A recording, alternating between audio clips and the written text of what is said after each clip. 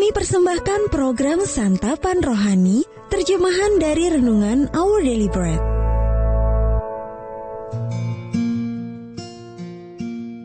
Sahabat Udibi, pembacaan Alkitab hari ini terambil dari bilangan pasal yang ke-10, ayat yang ke-8 sampai dengan ayat yang ke-10.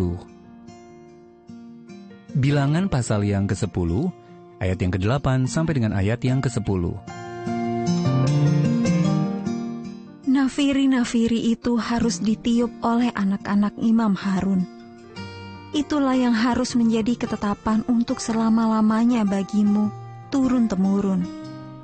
Dan apabila kamu maju berperang di negerimu, melawan musuh yang menyesakan kamu, kamu harus memberi tanda semboyan dengan nafiri, supaya kamu diingat di hadapan Tuhan Allahmu, dan diselamatkan daripada musuhmu juga pada hari-hari kamu bersukaria, pada perayaan-perayaanmu, dan pada bulan-bulan barumu, haruslah kamu meniup nafiri itu pada waktu mempersembahkan korban-korban bakaranmu dan korban-korban keselamatanmu. Maksudnya supaya kamu diingat di hadapan Allahmu. Akulah Tuhan Allahmu. Ayat Mas Renungan hari ini terambil dari bilangan pasal yang ke-10 ayat yang ke-10 dalam terjemahan Bahasa Indonesia sehari-hari. Pada hari-hari kamu bersukaria, yaitu pada pesta-pesta bulan baru dan perayaan-perayaanmu yang lainnya, trompet itu harus ditiup. Judul renungan kali ini, Tiuplah Trompetnya, ditulis oleh Lisa Samra. Taps adalah lagu dari bunyi trompet yang dimainkan oleh anggota militer Amerika Serikat di penghujung hari atau dalam upacara pemakaman. Saya takjub ketika membaca lirik tidak resminya dan menemukan bahwa banyak dari bait lagu itu diakhiri dengan frase God is nigh. Allah itu dekat. Entah sedang menyambut tibanya malam atau sedang berkabung karena wafatnya seseorang yang dikasihi. Lirik tersebut menawarkan keyakinan yang indah kepada para prajurit bahwa Allah itu dekat.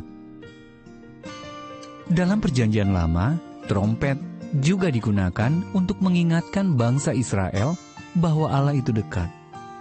Dalam berbagai perayaan yang menjadi bagian dari ikatan perjanjian antara Allah dengan bangsa Israel, bangsa itu diperintahkan untuk meniup trompet Bilangan pasal yang ke-10 ayat yang ke-10. Meniup trompet bukan hanya mengingatkan bahwa Allah hadir, tetapi juga bahwa dia senantiasa ada ketika mereka sangat membutuhkannya. Dan dia sungguh ingin menolong mereka.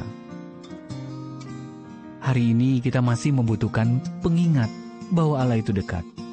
Dengan gaya penyembahan yang biasa kita lakukan, kita boleh berseru kepada Allah dalam doa dan pujian Dua-dua kita boleh dianggap sebagai trompet yang disuarakan untuk memohon pertolongan Allah. Kita memiliki jaminan yang indah, yaitu bahwa Allah selalu mendengar permohonan kita. 1 Petrus pasal yang ketiga ayat yang ke-12. Dia menjawab setiap permohonan kita dengan cara meyakinkan kita akan kehadirannya yang menguatkan dan menghibur kita di tengah beragam kesulitan dan kepedihan hidup yang kita alami. Sahabat ODB, kapan doa-doa Anda terdengar seperti seruan minta tolong? Dan bagaimana Anda dikuatkan oleh firman yang mengingatkan Anda bahwa Allah selalu mendengar doa-doa kita? Bapa di surga terima kasih karena Engkau menanggapi seruanku minta tolong dan meyakinkanku akan kasih dan kehadiranmu yang penuh kuasa. Our daily bread ministries, berminat mendapatkan buku renungan ini dalam bahasa Indonesia, Inggris, atau Mandarin, atau Anda rindu mendukung pelayanan ini, hubungi Our Bread Ministries di 021 2902 8950, WhatsApp 0878 7878 9978, email indonesia@odb.org. Tuhan Yesus memberkati.